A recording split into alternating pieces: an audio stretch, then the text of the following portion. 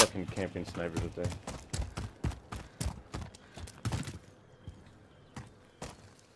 What are you doing? Bro, what the hell? They killed Eddie and I died by default. Wait, what? What? Yeah.